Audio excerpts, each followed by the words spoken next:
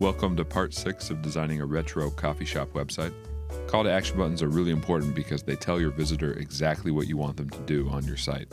I like to include them throughout every page so the visitor is always reminded of the action I want them to take. So here I'm creating a call to action section with just a black and white image, a heading, and then the button.